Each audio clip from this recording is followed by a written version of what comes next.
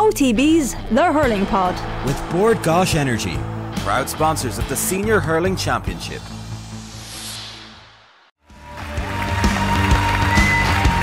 That's brutal. It's so. Alright. I was on rapper now, okay?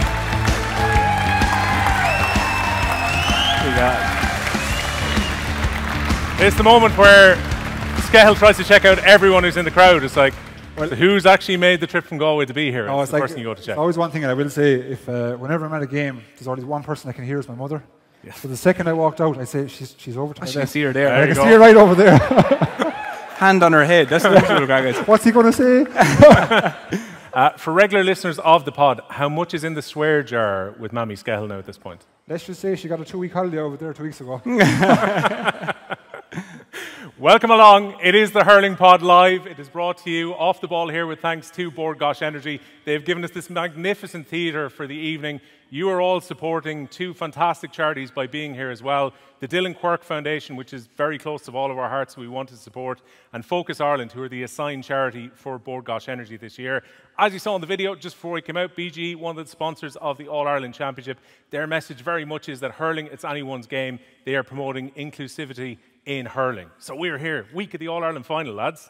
Slightly different to Zoom in the kitchen over the last two years. Yeah. Here we are in a theatre, re- relatively packed, friends and family here, and you don't give a shit what's the way the stories are going to go. Uh, well, I don't think so. We, we got a lot of guidance, actually, to be fair, the last while on the amount of, well, swears for him, really, is what it was. Yeah, yeah, and you've about stories. five to ten. I'm, I'm not that bad. Like, No, but I think to be fair, I think to be fair, the nerves were about six weeks ago. We were talking about it there when we were told we're coming to the Bord Gáis. I think that's where the nerves were. We were saying that's a bit big now, but it's unbelievable to see the amount of people that are here this evening. So it's it's incredible. But two great causes as well, in fairness to it. Yeah. So Look, both of you, Skell, have hurled in front of 82,000 people at Croke Park. This isn't a big deal for nerves.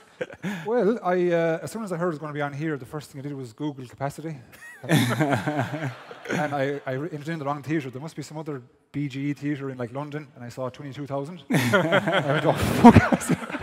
How am I going to do that?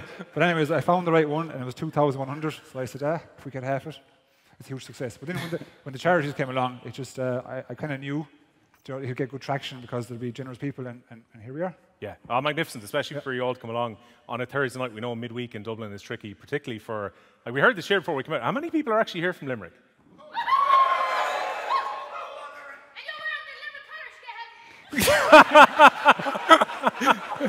who was that?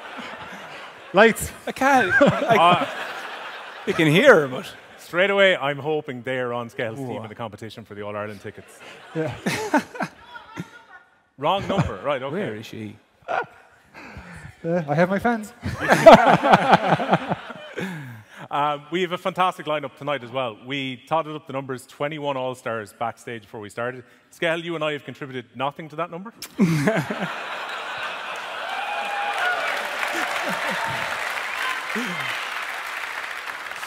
Yeah, but I have more Irelands than you. You do. um, Paul Murphy's got four, which is not bad. I believe Tommy Walsh is sitting somewhere out there with nine. I think there's only one man who's got more than him. And Joe Canning, you know, the small matter of being hurler of the year, five All Stars. And Kieran Carey is here, Limerick legend, one of the best players to play for a Limerick team who got so close but didn't get over the line. And he's got three All Stars to contribute as well. So fantastic to be here. Will we grab a seat? Because it Yeah. might seem kind of weird if we're standing up all night. Yep. Um, we will be ringing out Joe Canning in a few minutes, but the two lads give us an insight. We'll talk about the game a lot more with the lads when they come out a bit later on. But tell us about All Ireland Week and what it's like, Paul, when you're getting ready. Um, look, I suppose different years. If you're lucky to play in, in, in a few, like when you're young, you're just naive. You just think, you know, the, the, the, you just want to play the match. The, it comes in very quickly. Um, I remember my first one just sleeping the whole night through, no nerves whatsoever, and going and playing it. But then I suppose, look, maybe as you get older, um, you realise the bit of pressure that might be on you. You realise that, you know, could be losing on Sunday, you could be feeling bad for the week. So there's there, there's different there's different weeks that happen. But look, from the Kilkenny point of view, I'm sure the lads are refreshed. They're delighted coming in here now. Like I mean, if you took at the start of the year to say that we were going to be in a final, we'd, we'd take their hand off. And look, the Limerick lads are well grounded. They've been here many times, and look, their feet don't seem to be coming off the ground. So I think all players this week now will, you know, especially with Kilkenny playing last year, there's no real new guys stepping in. Easy or difficult thing to come in to a team who'd been so successful at the time you come in? Uh, easy for me. Like um, I felt, I came in, I watched the lads go for the four in a row, part of the training panel, and uh, for me it was like you know I stepped in behind Tommy there and right corner back. And remember the first All Ireland, it was there, and Tommy was in front of me. Noel Hickey was to the left of me, and you had JJ and lads. And I was saying, I'm pretty much the luckiest supporter in Kilkenny here that gets to play the game. Like that was the way I looked at it. But um, look, there was no pressure. The boys were great. The boys just put the arm around you and say, listen, you're you're here on merits, and you didn't get in there unless you were you know playing well. So look, I was just delighted to be there after dropped two or three times from Kilkenny. So you, you know, you had the hard yards to make as well. But um, look, it was just great. I think, like you know, Skettle would say the same in the boys. I think when you get to an All Ireland final, as a player, for years you think you might never get there. So when you get there, it's just brilliant. Simplistic preparation for you. Uh, forgive anyone listening to the pod two weeks ago, but I have to ask Gail again about his preparations for 2012. Oh Jesus! So basically, I uh, I like to be active. So I, I can't I can't stand sitting around just doing nothing because my head gets into my own head. If you know what I mean, right? So I said I'd be um, I, I would do a prudent action and go down to the bog, load the turf, and leave it there because there, there was a bridge between the banks that was kind of a bit sketchy. So I thought if I chanced it, it'd collapse. I'd be there for the night. So I, I went home, and my uncle, uh, you, you don't know him, but he's the type of uncle that immigrated in the 60s, comes back, thinks the Irish can do nothing right, you know, and that he knows everything. So he said, come down, we'd fix the bridge, we'd get the turf out, and you can enjoy your weekend. I listened, and then when I saw him loading the trailer with a bale of fucking straw, right, and a couple of bits of 4 by 2 I should have known. I should have known, but I, I went along with it, and we chanced it. And I'll never forget, as we're coming out, he does the most American phrase. He goes, punch it. This, you know. so I put down and trailer over. I was probably three or four hours there, so vexed, and it wasn't even my turf. it was my mother's turf. So I just left in a fit of vexation at 10 or 11 o'clock at night, fell into bed, woke up, fell asleep on the bus going to the match. Uh, I was telling, I didn't tell the story at the, manage, at the table for breakfast because Anthony Cunningham was there. I thought he'd drop me. But then I went out and had a good game. so uh, it ended up with a draw. These guys kind of spoiled it, but alas. So knee deep, knee deep in bog water is the key then. Knee deep in bog water, yeah. Because my wife, we've been together probably four or five years at that stage. I asked her to go and get the chains, uh, these big heavy duty chains now. Like she's a small five foot five thing, she's little, you know, and 10 minutes passed, 20 minutes passed, 30. I ring her, where the fuck are the chains? like, she, she couldn't put them into the boat, like. so I had to get my sister, two sisters to come down. And then I didn't even thank them. I just caught the chains and started pulling with them. But it's just, yeah, it's one one of those things when you look back now from a position of maturity, and you say to yourself, what was I doing? What was I at? You know? Because if I, I'm, in- I'm in management now to a degree, you know, with, with, with kids, and like that is the last thing I'd say for them to do, you know. but let's just say I'm getting older and wiser. Um, Paul, you met Skell for pretty much the first time outside the pitch last year. It was only literally as we were coming down here, the American side just reminded me of the guy you bumped into in the bar, the very nice American man Oh, yeah. who was trying to enjoy his holiday in Limerick Yeah. until Skell ruined the entire trip for him. yeah, like so we did our first roadshow. I'd say it was probably actually the first time we met in person, really, because we started it by Zoom. But um, we we checked in at the same time. We did it in Dolan's in Limerick last year. We checked in at the same time, and uh, sure, two of us were like, "Here, we go down for a pint." And there was actually this small bar on the floor we were on, so we went down to it, and there was only one other guy from Chicago on it, and he was kind of sitting there on his own having a drink, and um, we just we'd include him in the conversation. And Scale goes, uh, "How are you getting on? Where are you from?" And the man goes, oh, "I'm from Chicago." And sure, Scale straight away was like.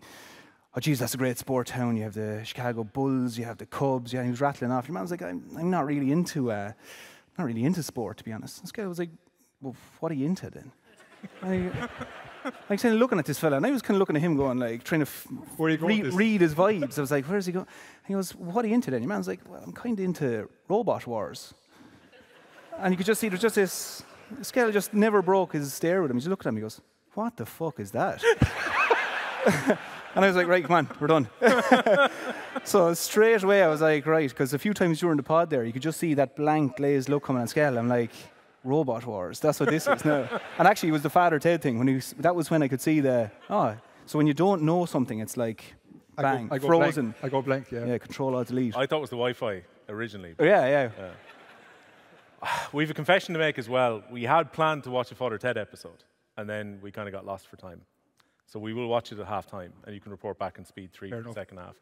For anyone who's not familiar, James Skell, I think, is the only person in Ireland who managed to bypass Simpsons and Father Ted despite the fact that Father Ted and The Simpsons was impossible to miss as a kid. I, I don't know, like, I, what was going on, but like, back, You back, wanted back in that chains day, in I, the ball. I have to ask her because why weren't we watching it? The father now. Here, the father's the hand over the face now. It's, uh, We're flat, we're it's a month or flat- two minutes We were ago. flat out working, like, I, there's no what's going on.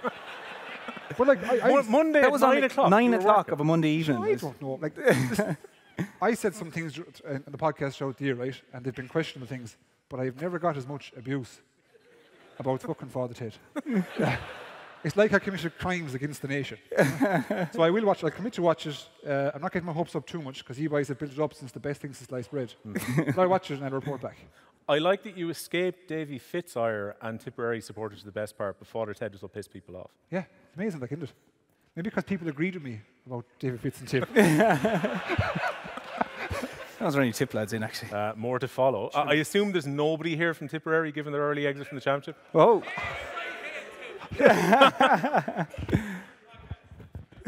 Join the club. yeah. Um, I reckon I know why you didn't see Father Ted. You spent your teenage years being a miscreant. That's why. Yeah. Like, So- now we have to give the. Is this? Well, I have to give the context. Of yeah, this. the context. Um, now, d- before we say. You're it- not a Garda or have never been a member of An Garda Síochána. No, is there any except guards for here? today.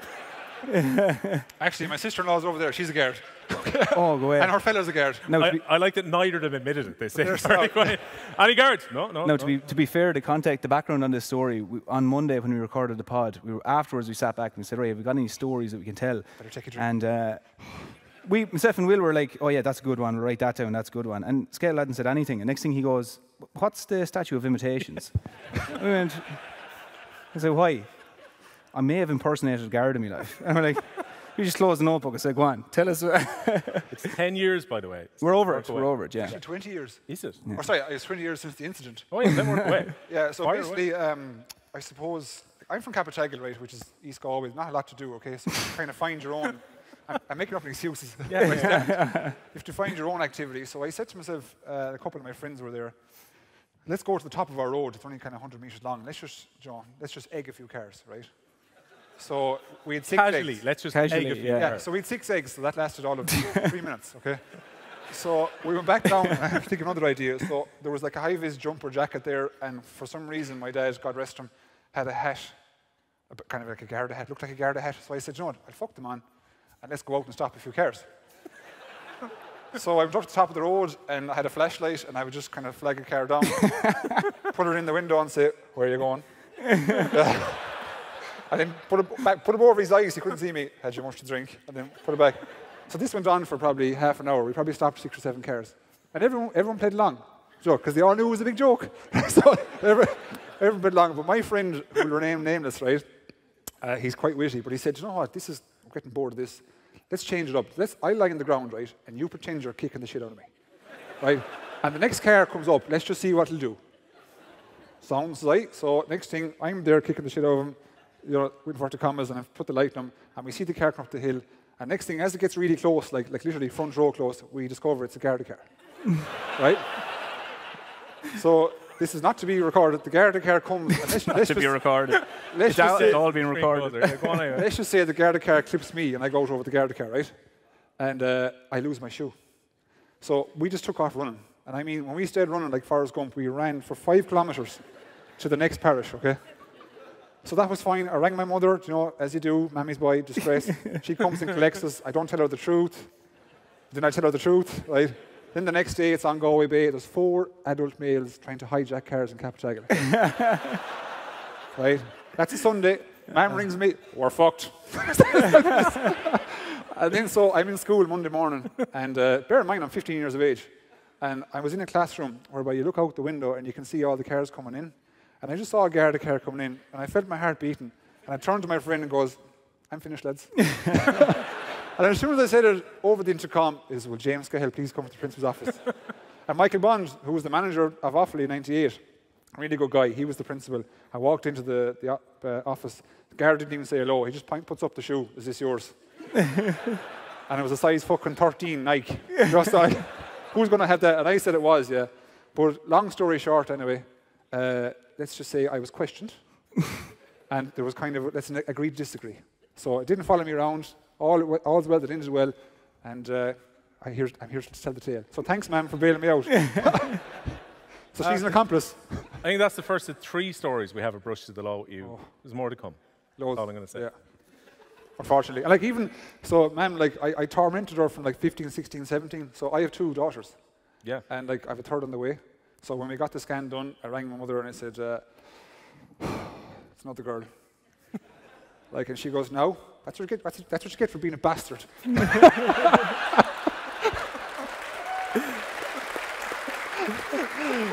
yeah. Paul Murphy, I reckon your story is going to be slightly more wholesome than them. A little bit more, yeah. Um, yeah. I believe a minibus of people from your home area have come up. There's about 14 lads, there are 15 lads from the N-Sport there, yeah. One only got a smartphone about two months ago. So that's the kind of caliber of man you're dealing with there now. Michael Mylan, I don't want to name him, but ah, there he is, he's the hands up and all. He actually, he used to send lads around the country on the buy and sell and different things, trying to find 3210s, wouldn't buy a smartphone. So him coming to Dublin now is a mind-blowing experience, to say the least, yeah. Um, your own clubmate then, Yeah. from and Richie Hogan, is potentially going to win an eighth All Ireland medal on Sunday. Mm. Uh, that does include like his 15 All Ireland handball medals and his world handball and everything as well. He's like the most glittering and crazy CV you could ever have.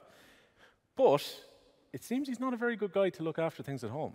No, we were going over it. I was thinking when we were trashing out a few stories, like, who has good stories? And like Richie, Richie is like, you know, is all about, you know, his work and, you know, education, his every, whole life squared away, but then just makes a hames of other things altogether.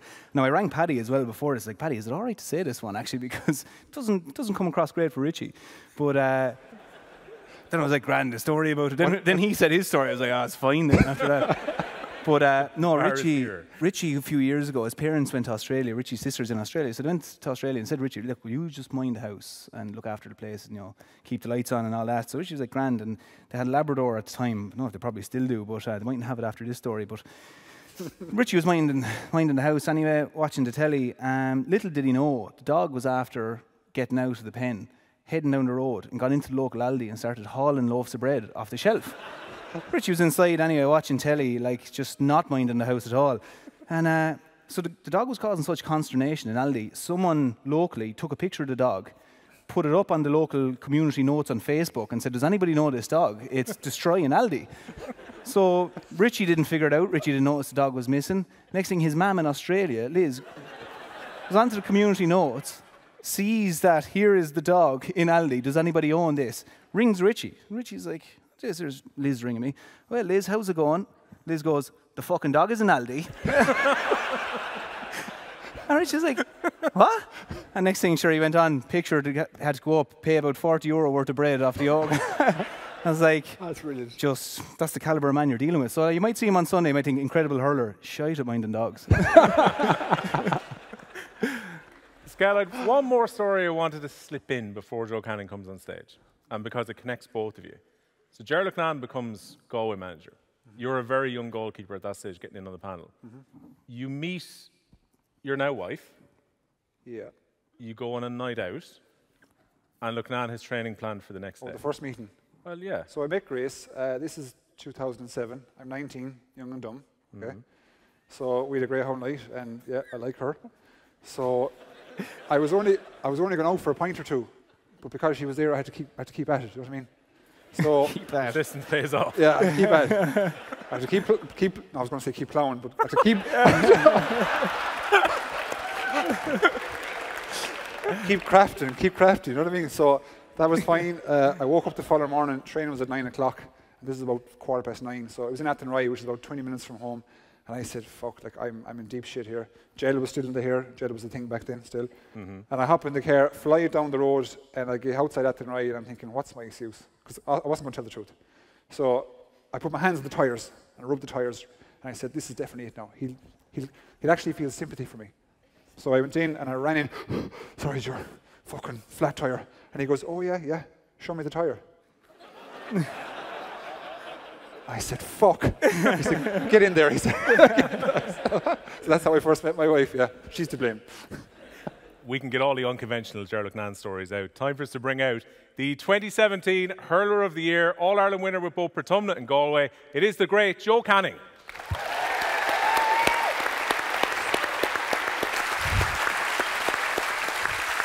Oh well. All right, Joe, you well? How you do? Think you know him. Hi Joe.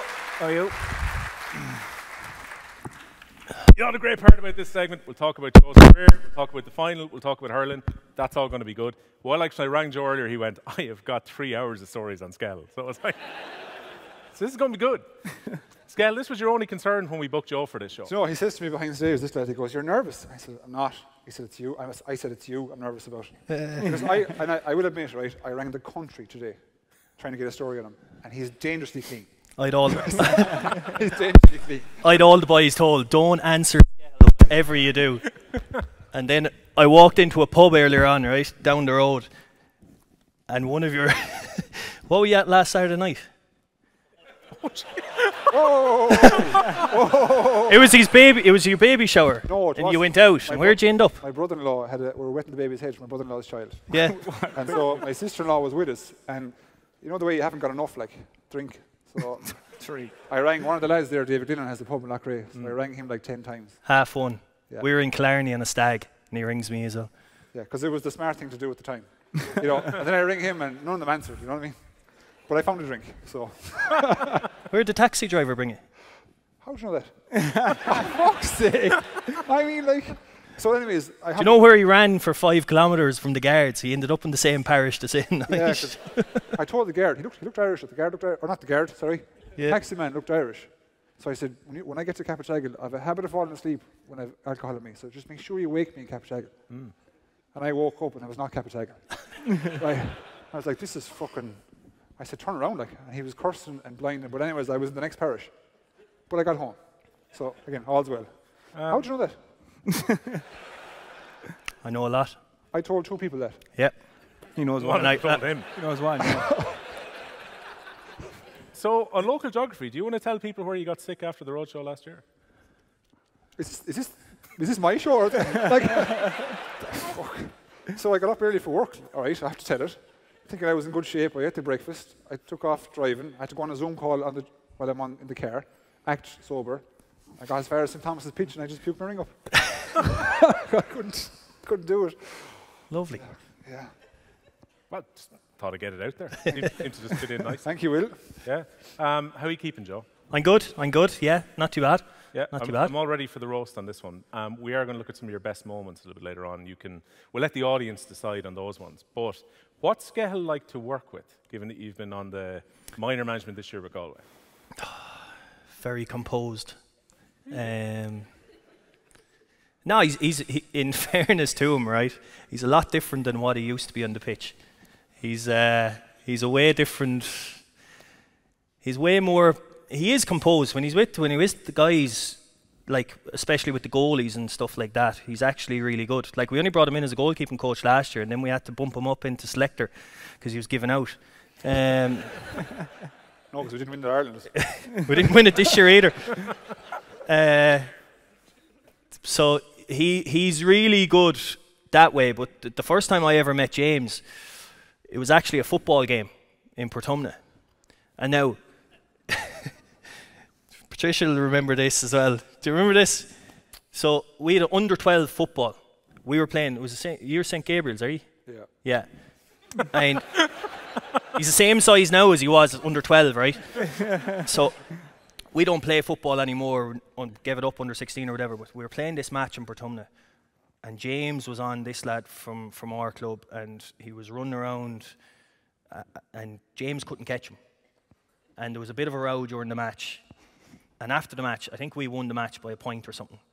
But you actually had to hold him back from going into the our dressing room to bait you, man. at under 12. Do you remember that? Lose you, yeah. Yeah. Because every, Jeez. Because every, every time I see you, you tell me. Yeah, yeah. Uh, imagine like under 12 match, like coming into the dressing room to go bait a lad after. Yeah, but he wasn't very sportsmanlike. But no. uh, yeah, no, there's a like we grew up together then the whole way going up, like so we would have known each other from probably that day until until obviously now. But um, yeah, we would have played under 14, 16, minor, 20, senior. Um, but yeah, I didn't go in that year with when Skell was running around the paddocks with Loughnane. I was at home. It was hard work, man. He used to come home and eat a few Jaffa cakes. We were we'd be eating Chineses and drinking pints and stuff like that. Apache Pizza, remember? Patchy pizza, yeah. Oh You'd be six- 061 209 888. we were living together in Limerick in college. James would come in. I'd say he lost. You must lost four stone in a week running with Loughnane that time. He was just drained off him. Eating, oh, he could only eat Jaffa cakes. Yeah, I had a man there with the chicken tenders. Still didn't start. So I'm guessing that means you got to miss out on the baseball machines then. I did. I missed that year, yeah. You may and the pick- sand and the tran sand track. You may pick that story up, Scal. The baseball machines, I suppose, when, I suppose, like, Galway, we weren't in a good spot at the time, like, senior wise. No. I know we, we were in the final in 05, but we were well beaten. Like, so hmm. when Loughnane came in, it was kind of like, this is the messiah. He's going to, because only 10 years previous, he'd won with Clare.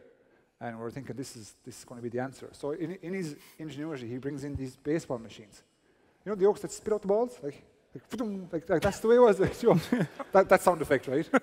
but, so like we thought this is this is this is going to work. So, anyways, Louis Mulqueen from Clare sets up the ba- baseball machine at centre field, and we can see him when we're warming up, and he's he's testing it out like in the air, you know, and he's "Fa-dum, fa-dum," like, and they're going fucking way up, like, right? And so he says, right lads, look down your score, right boys, right boys.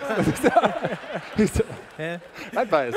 21 yard line. So we used to have, he's got, he said, uh, we're going to get Louis to, throw, to fire in the baseball and you're going to catch it and then turn and shoot. So Eugene Cloonan was, was, uh, was first up, like trying to make an impression, obviously. And Louis Mulqueen obviously set it a bit high. So he just, and Cloonan shoots out and it just hits his hand. Boom. And he just turns around like this. That. and then every lad just starts backing up. Like, like, no, no, no. And then we're doing shooting practice, and Colm Callanan was in goals. And uh, Colin, this time no helmets now, obviously. He says to Louis on 21, uh, right, or Sean Tracy, excuse me, whenever you're ready. And Sean goes, Colin, the ball's behind you.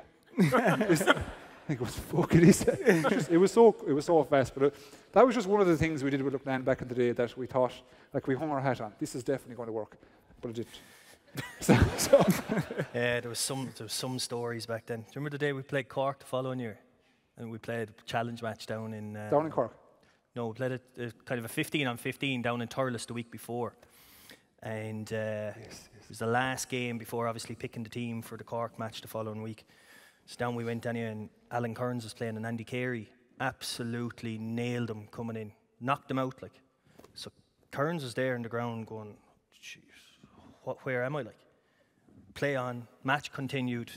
They had to dr- nearly drag him off to the sideline and there was no freeze or anything. Look, Nan was refereeing, and he roars out to the field. It was a lovely sunny day, and he roars out, "Curtains, what do you got? Sunning yourself, is it?" Curtains is like, "What? What?" And Ca- Carey got on the panel.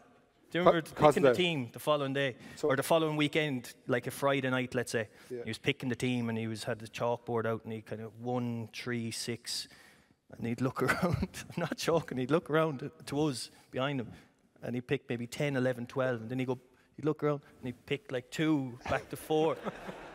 and we were kind of looking, does he know the team, or is he just like kind of looking? but then he says, and he was picking the panel, and he says to Kerry, he says, Kerry, after last weekend, you'd mark ring if he was out there. and, and Andy was kind of going, I would. I would. Uh, All the while Alan Kerins ends up in Nina Hospital. That's exactly it. no, he did the fitness test, or he, he played actually the following weekend, yeah. But we, like, we have a thousand of those stories. I don't think we have enough time, to be honest. Ah, I think we can free flow, see how many we get through. Murph and I can just sit here and God. Yeah, yeah, yeah. two lads chat away. Yeah. No great panic, is there? Not at all, no. Yeah. No, we've Tommy in a while anyway, so I'm sure he's a few. He's a few. what did you think of Joe when he was coming in, Skell? Given that I know Joe, you've said before the 212 against Cork was nearly the worst thing that could happen at senior level because almost puts a bullseye on you straight away, and people would have been familiar with how good you were as a teenager with Portumna as well. So that expectation was there through the minors as well. Did you know there was kind of hot shit coming through, Skell, when he came in? You see, I, the first time I saw him, let's say, from a hurling perspective, was at kind of the Puck Father Skills when we were 12. So, like, I, I had known him all the way along as minor. So he was coming into the senior panel at, uh, would be 19, Joe? 18, Nin- turned 19. 19, yeah. And like, so I knew all about him. You know, like that he was just, he was awesome. I still, he's the best underage hurler that's ever lived, and in my opinion, he's the best senior hurler that's ever lived. So he carried his underage form right up to senior. So I knew exactly what it was about. But some lads had seen him on television, whether it be minor games or the, the, the bits of snippets, the bits of club games. So they didn't quite- quite get a, I suppose, an up close look at him at training. So when he came in, the likes of my club mate Jicey now and Shane Cabs and these lads saw him and go, "Jeez, this guy is ridiculous." I actually lost. Thanks, James. I actually, I actually lost 50 euro on one day. Fucking prick. Like we were, we're training one day, right? And I, we're at centre field. I think it was under 51 train, Joe. And I said, uh, 50 euro, you won't hit the crossbar. And he goes, 50? Yeah, sound. Ping. Crossbar. He, he took it too.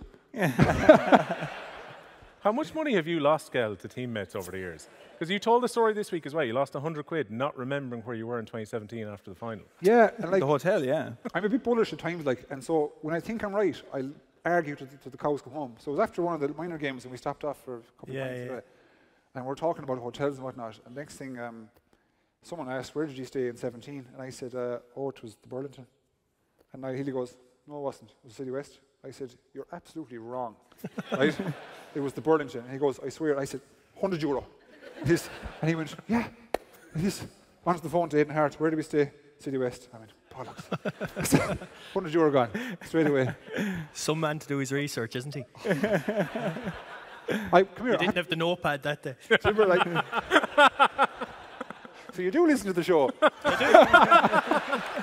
I do. I actually, I actually look at the live ones and wonder why you don't have any um, subtitles. Oh, We always used to say that James could only get interviewed on TG Cahir because they'd have subtitles. Uh, people talk about his accuracy. I'll tell you one more about this lad. I think it was under tw- 21 again. And like I, to this day, I think it was on purpose. But we were t- practicing 21s, and at the time it was it was uh, three in the goal. Remember? And so he hit me in the kneecap with a bullet. And like I was like, oh Jesus! So I went out with the goal, and before uh, you know, it was probably three or four minutes. Then I came back in again, straight in the balls, right? and I crawled at the corner flag. And I, I, I don't know what I did to that time, but I, I don't remember that. so he's dead. It was in Kiltormer. He was deadly accurate. I, I remember it. Kiltormer. And the boys Jeez. remember too. so, Jesus, yeah. so he was deadly accurate, yeah. you see, Murph, I think at the moment we're kind of roasting scale slightly and we're kind of being nice to our special guest. so I'm going to give you a chance to actually reassure Canning a little bit more as well. Because we chatted about this in the pod way back when, probably one of the times he wasn't watching the live. And it was just after Joe had done a piece with Off the Ball talking about how the comments had kind of been misinterpreted about Henry, and this was fire for the Kilkenny panel. Yeah. You and Tommy are here. How much were the comments actually talked about? I don't think they're talking about a whole lot, to be honest. Um, like we, we kind of took it two ways, to be honest. Um, one was either he they're they're trying to throw us off by by saying it, or the second is that journalist misquoted him because like we've had years where you know you said something but it was taken out of context. So we were saying, look, either way.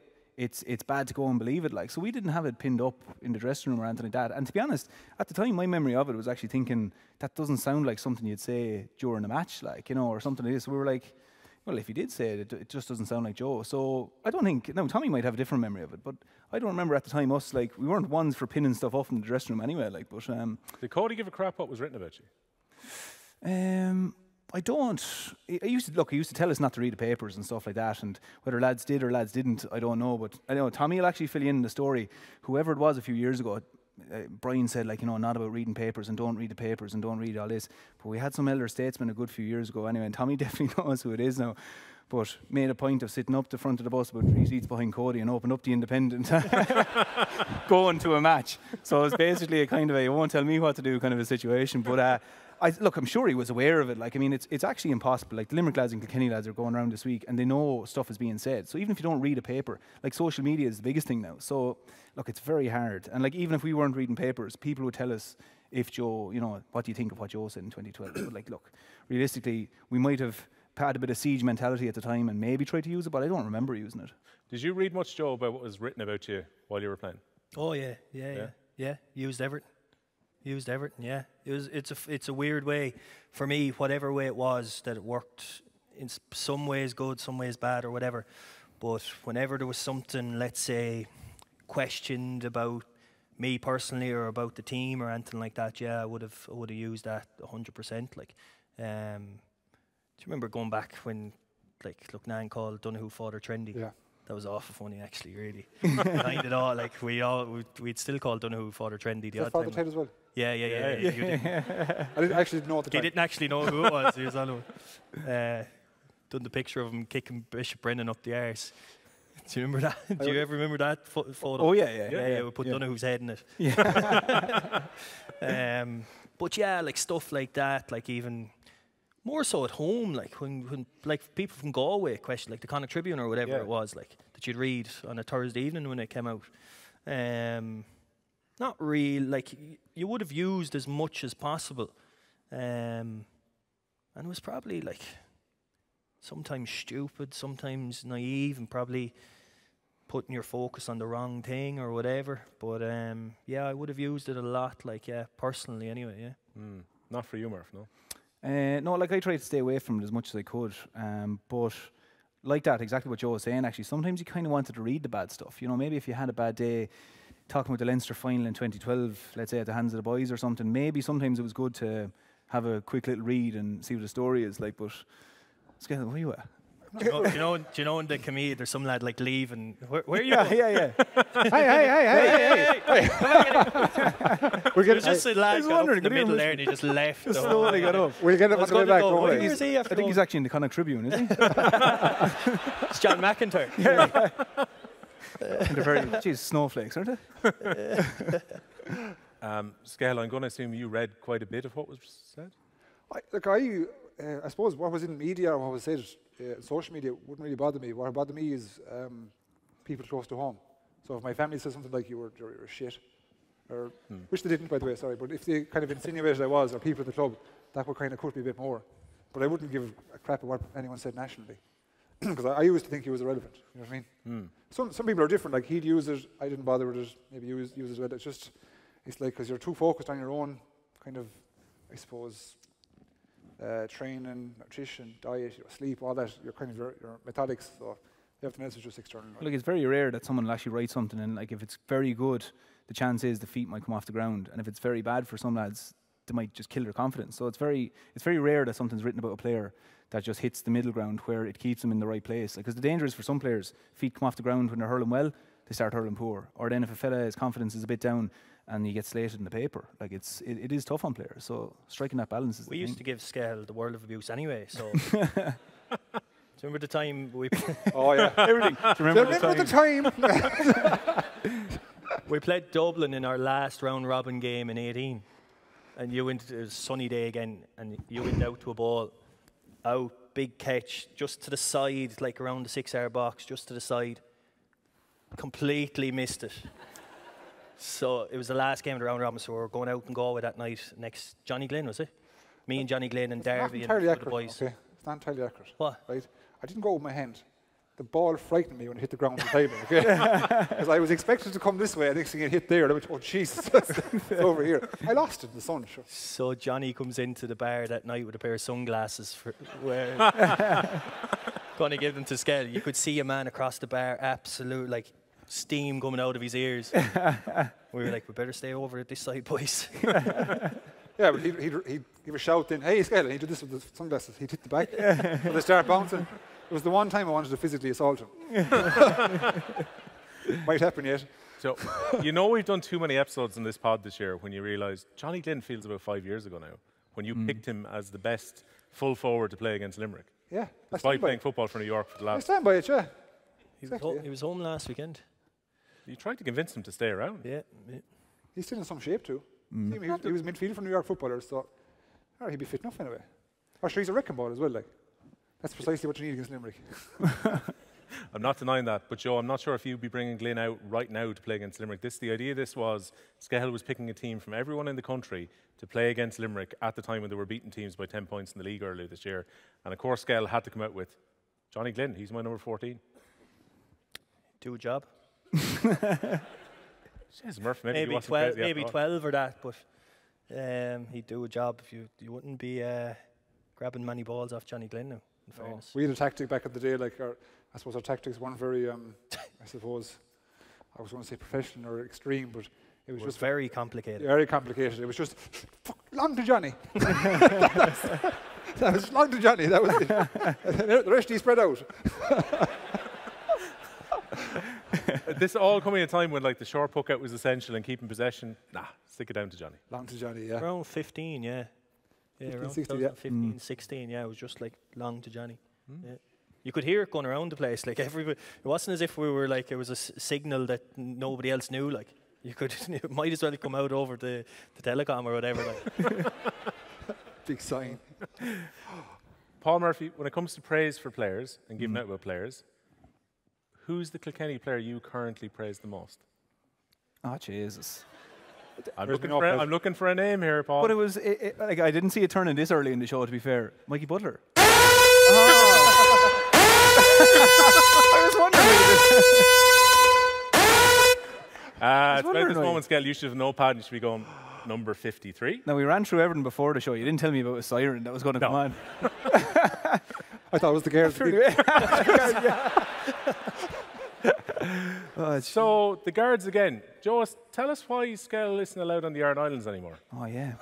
Oh, hold on, hold on. from the Aran Islands, wait. yeah. We were talking about Mikey Butler here. That's done. Continue, continue more. That's done. That was a visual joke. The, f- the stage is yours. We had a we had a training camp back in what 2010, John McIntyre's time. Joe Connolly and the lads we had to go out to the Aran Islands in Inis Mór, get connected with the west of Ireland again, up to Doonangus, train over there in the pitch, and then there was a big céilí that night, and all the lads into the céilí, drinking all night, you name it. Got back to the hotel, I don't know what you were drinking anyway, but mattress thrown out the window, hurls, Jay Skehill, hurls. I think it was actually lads that fucked him out, right? And it's the first time you admitted yeah.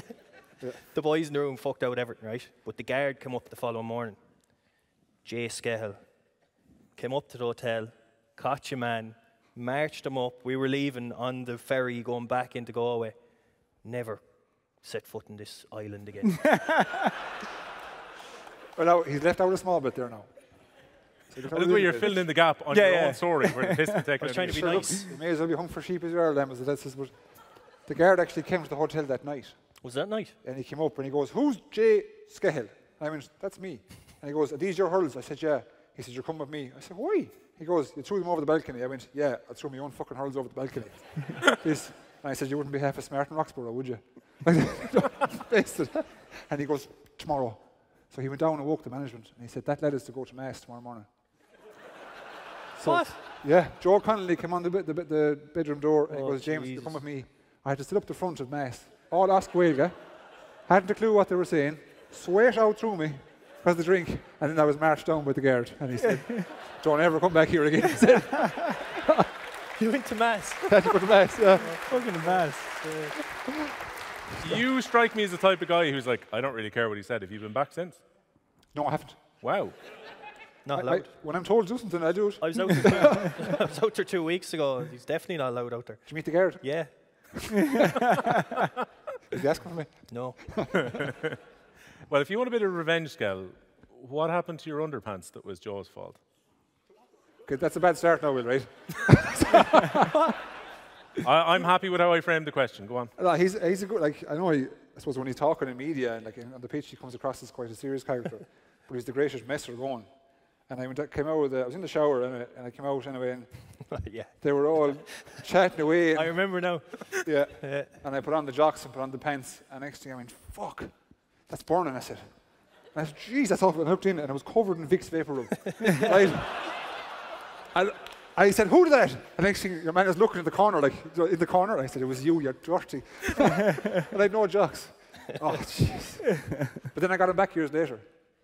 Go on. Do you remember we used to dye the hair? Yeah, yeah. Yeah, like Joe, Joe loves hurling. I think he loves fashion. and he loves his hair. right? So back at the time in college, we used to do the old tips, Yeah. the old blonde tips. Oh, yeah. So he did mine, and uh, I did his. And so we used to have to put on the cap. Remember the old cap? That was the Fitzgibbon. We won. We won the Fitzgibbon. Yeah. yeah, this, this is the start of it now. Was that the Fitzgibbon that a clown could have managed to success, was it? What he did. Well, You teamed me up there now, so you did. and I fell for hook, line, and sinker. But anyways, we did the. He actually ran to the sideline and bear hugged Fitzy after. Yeah, squeezed the shite out of him. he's still cross. I'll probably he'll tell you a story why he's crossing me from his house. But the uh, anyways, the old tips didn't work out so well, and they were supposed to come out like bright blonde, Uh, mine didn't come out too bad, but yours, Yours was grand. Mine yours was came out ginger. horrendous. Yeah, yeah. yours came out ginger, and I never saw a man who was cool, calm, collected to panic so much.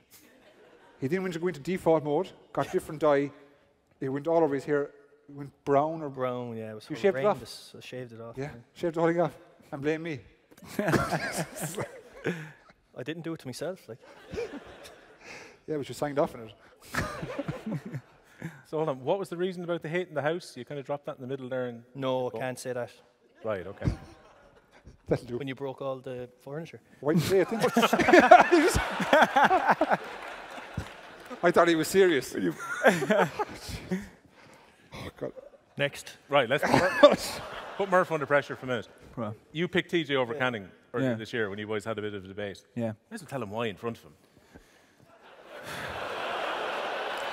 I, I, I, I, I'd well agree with him. Oh. I'd agree with him. 100%. Jesus, that's boring. No, I would. like. Huh? But he is like. Is that to prove Ah, me wrong again? Is it? stop. That's no, but it, it's I actually wanted to go studs up on him in, there in now. but now he's fair- in fairness, like TJ Reid is probably the best we've ever seen. shut up, Kenny. will you? No, but he is. but he is. This is why he's so clean. This yeah, is but how he's he's, getting out. he's 30 out. What he's doing now at 36 years of age, or whenever he is, thir- 36. You were backstage looking at clips of yourself there, going, "Shit, look at that in 2015." Remember that? That's why it took us so long to come out here. You were saying, Yeah. "Fucking, s- I said I was the best at sideline." He came over to Murphy and goes, look at this sideline here. Look at that, This. 2015. Was Yeah. it four in one game? It was was that the line he was using, was It it? was he's four in one game. Yeah, I four heard it in the elevator coming out, four in one game. I was like, why are you talking about four in one game? Four wides as well. Yeah. He actually, in, in fairness, he nearly got me in trouble one year. Remember in, in Tullamore, we played G in the drawn game. So we were up by about 10 points in 14, and you came back, but you got the drawn point, and you were literally on the 14 yard line at the sideline running away from goal. And I was coming after you, but like you kind of, the ball was me. bouncing. Couldn't get you. I was afraid to run into that wall in Tullamore. That was the problem. But I was running after you. But uh, kind of part of it was that, like we were out on our feet, like you know, at that stage in the match, and you had us on the back foot. But your man took the shot anyway, and I was closest to him. I'm sure, like when I look back at the angle, like there was no angle there, and there was a bit of curl on the ball, and went over. I'm sure Cody cornered me like a few nights later, and he was like, "Why didn't you block him?" And now I, I was thinking that myself, like, but you know, I was on, I know I didn't block. him. Kind of plan, Brian. 70 minutes in, and I'm gasping, and Johnny Glynn's after pulling out and dragging out here, like, you know. But I, did, I was looking at Brian, I was going to say, "I- is it because I thought he wasn't going to fucking score? And I was like, I can't say that. I was like, look, at uh, the sun got in my eyes there, Brian. I couldn't see. but I remember, I remember when he got it, and he was turning away, celebrating, waving. I was going, oh, you're some bollocks. I was just going, and it was just. Yeah, but But we rarely marked each other. To be fair, like we only kind of it was only in fairness, it was only like five or ten minutes here or there because you were Yeah. usually 14 or centre forward or something like that, or terrified Yeah, of marking never. me. So yeah, it Never really like yeah. no, yeah, rarely. So I don't have good things. Will we be nice to TJ and ask him to talk about why he thinks TJ is so good? TJ tell you he's good. I T- know he will, yeah. no, as in the TJ He, tell he you wouldn't TJ's good. Canning was better than me. no, so go, TJ I was know, sitting yeah. here. TJ go, I am the best. So- or Canning's just backing himself out of it. I would know. In fairness, like you said, it was Canning. Like, and but I think a lot of it is, in fairness, is like I would have seen TJ since you know since I'm 11, 12, or 14, and like that does play a lot in terms of what you've seen. I only saw him playing against him or what he's done on telly, like you know. So, but um, look, it's sure splitting hairs, really. Like you know, in fairness, to him. I know he's backing out of it there, but it is splitting hairs. Like to be fair to him. Hmm. No, I wouldn't disagree with that. I mean, his longevity, Joe, is incredible. As you mentioned, he's 36 later this year. He's taken your record as the championship top scorer. Himself and Horgan are kind of swapping it back and forth. You thought you were going to see that one out, All didn't I you? got for that, like, yeah. Jesus. A I week think I it, had a week, did I? Yeah. Well, look, I'm sure it was sweet enough, though, to actually. Like, were you aware of the record as it was ticking down? Because most of the media weren't. It definitely was. Do you know? Do you know what now? I'll tell you a good one, right? Yes, I was aware of it, right? But we played Waterford that day, and Bennett, who's the, the corner forward? What I get It was mixed up. Shane between- Bennett was Shane, corner, but Bennett. Stephen as well. Like. and I was taking a free, and I could hear him roaring up the field at me. You'll break your record today. You'll break the record today. And that's how, like, you know, that. So I did know, like, and everybody kind of knew about it at the time. But did it matter? No, like, mm. like what difference? As I said, like, I didn't get anything for it. Like, it doesn't really matter. Like, um, Would you have liked it to been like you know in the basketball when Steph Curry breaks the oh, like the whole crowd. on Henry the comes down and hugs Yeah, you and yeah, stuff yeah. like this, like and half Take a 40 minute break. Yeah, yeah. there, John. Milan is carrying you off on your shoulders and stuff. Yeah. Yeah, Would have been good craic, in fairness. It's a missed opportunity, really. It really, really is. Yeah, you just get to pick yeah. a motley crew of players to go down and Go, carry you off the pitch. going, I know, yeah. you wanted it though, didn't you? Not like it is what it is. Like Yeah. you know, mm. it's not. What difference is it? I'm sure. Like I probably got a point or two more, or, or missed a point or two before. Do you know what I mean? Like those kind of records are very iffy. Do you know? Like some match reports, you could have ten points, and other match reports you could have eight points, and you'd be like, "Fuck it, I got eleven points there today." you know, like it's so it's yeah, it's a little bit different like that. Yeah. But there's not enough appreciation for it, though. There's not. No. You know, I think sometimes it's because we're amateur sportsmen that there's not enough um, made out of it. Because like what to, to get that amount, amount of scoring is, is surreal. Because it's it's continuous top level performance. Like I just I just think probably because we've we've seen him in the present, there's not enough appreciation. And the record will be broken at some stage, and it won't be appreciated then again. So it's just uh, I know he he'll, he'll play it down because that's his nature. But in fairness, to get top of that list, that's passed out some greats. So well done, Joe.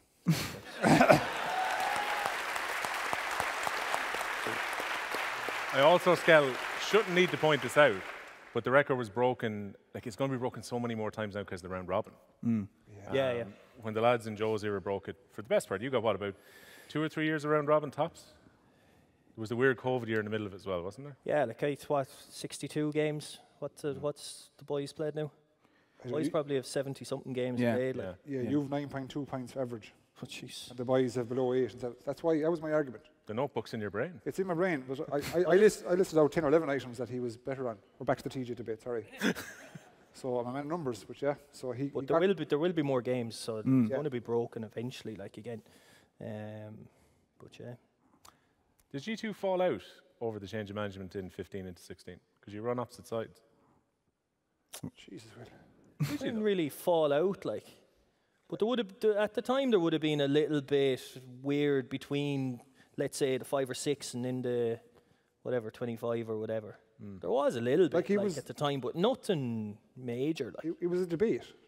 Yeah, That's what it was. Like it Which, which in fairness, panels need. And like ultimately, you go on and win the All Ireland a couple of years later, and then yeah, so like it was a debate, and obviously you have people who thought one thing, and you have people who thought the other thing. yeah. So then ultimately it was kind of like I suppose a democratic decision.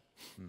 And Nobody, it. nobody ever fell out over it, like, because we were still the same panel the following year and stuff like that. Like, Micheál didn't change much, but it was just difference of opinion, I suppose, of how we saw things through like a collective more so than individual. Do you know what I mean? Like, um, so no, we never fell out or anything. Jeez, no, no, not that I know of. Do you follow with me?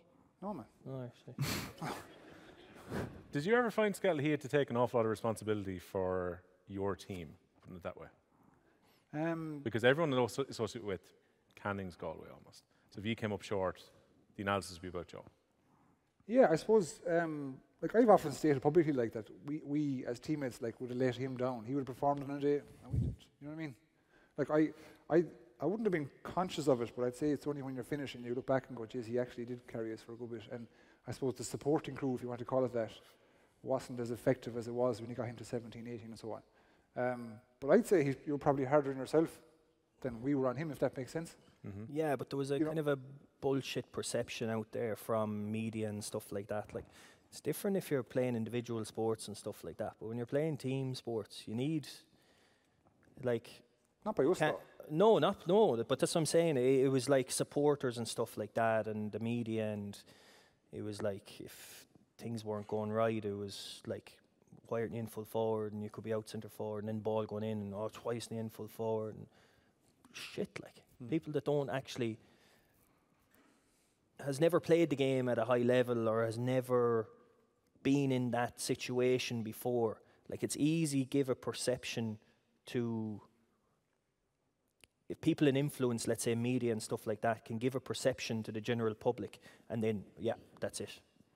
Do you know, and they can say stuff here and there and rumours start then and like I remember there was a rumour going around that me and Davy Burke didn't talk because of Portumna and St Thomas's. And we lived together for five years. Do you know, that kind of way, like, Doesn't sound like a very social house, was I don't know. How did you not talk for five years? he kept to his side. There was two floors in the house. But um, But you know that sort of stuff around Galway and stuff like that. There was always that sort of stuff, and then like club rivalry and stuff. I don't think like I never came across that when I actually went into Galway. Like, Hmm. like it was part like yeah, but like it's the same in Kilkenny. I'm sure. Like when you go play with your club, like you'll you'll kill each other to win for your club.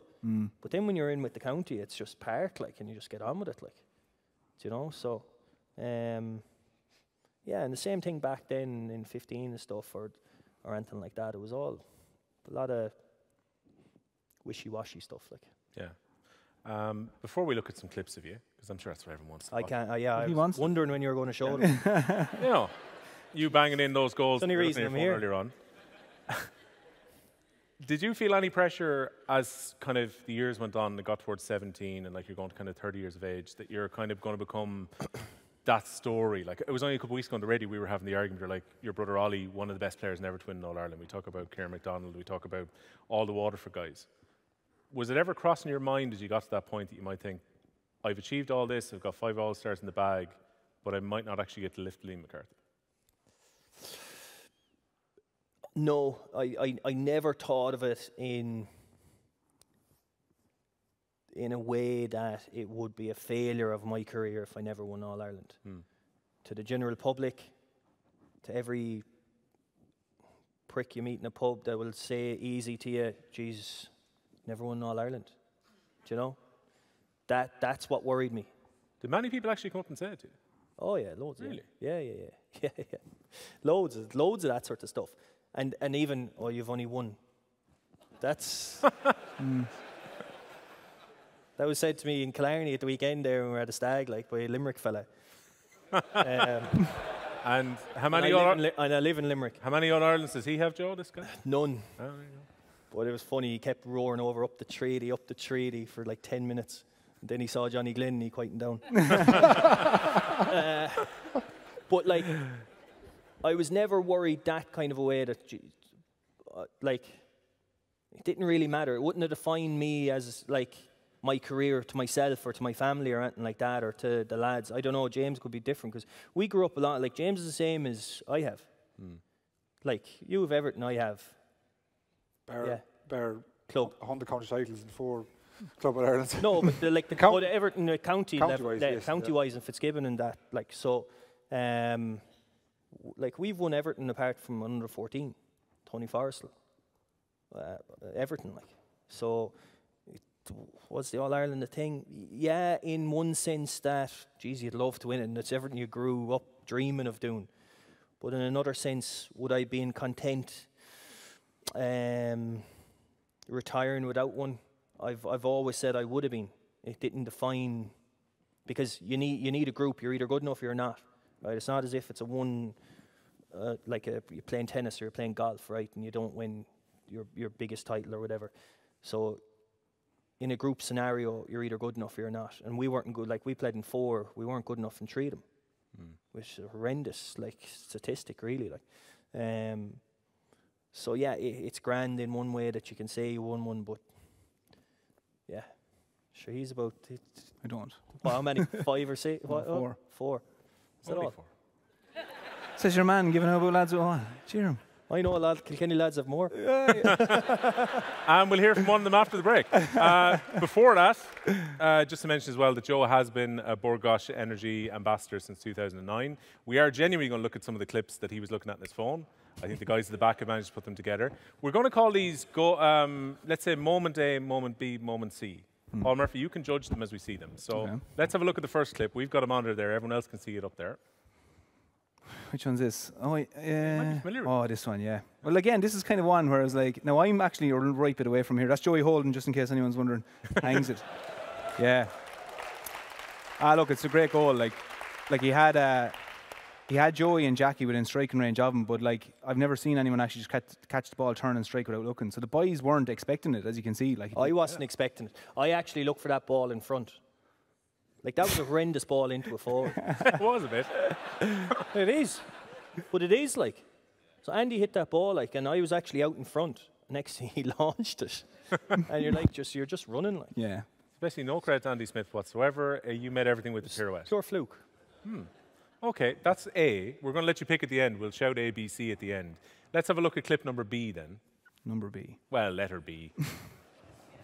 Murphy has to be a smart. well, that's the point. This scale Ah, in fairness, that scale's won the game. favourite This is That scale. won the game. That's your favourite. Talk us through that. What was it like, Scout? That was the job, wasn't it? Well, what were you feeling at that time? I don't know how Johnny Coen turned around. Like, Oh, turned around to pop it back to you. yeah. Yeah. Yeah. Why did he like turn around? Because he definitely wouldn't have heard me But he'll tell you himself, though, his shooting at times is questionable.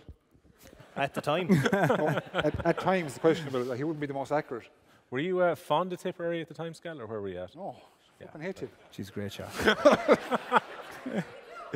So, okay, that's letter B. Let's have a look at letter C.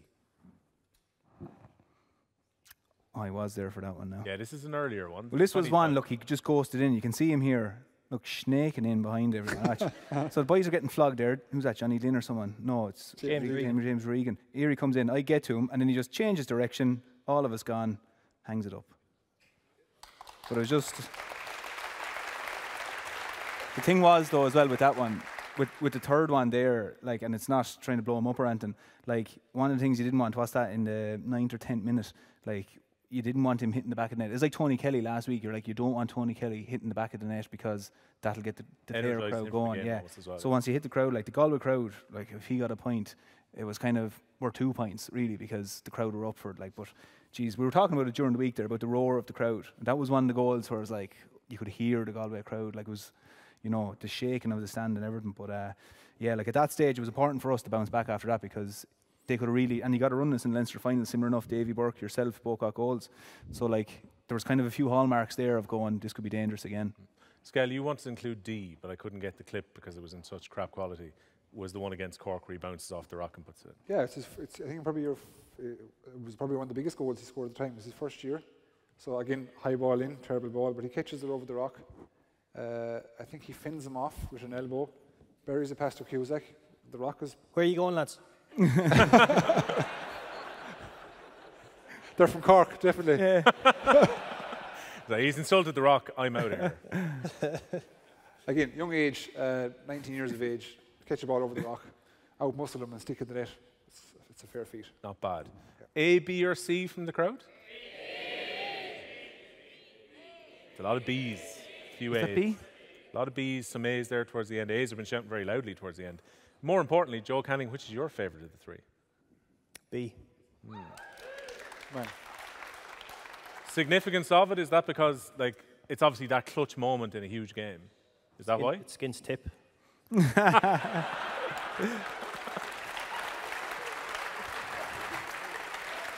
tip his own there somewhere.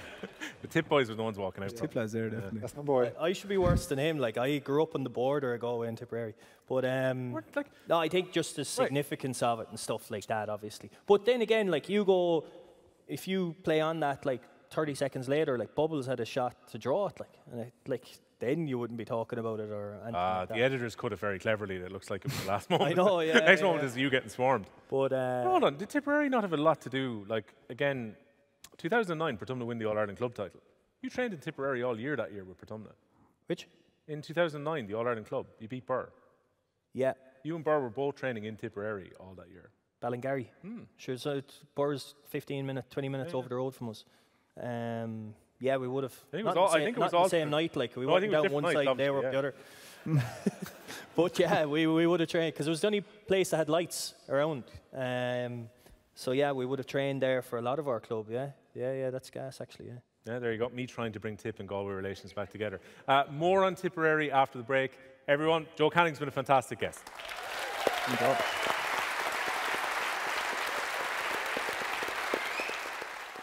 OTB's The Hurling Pod. With Bord Gáis Energy, proud sponsors of the Senior Hurling Championship.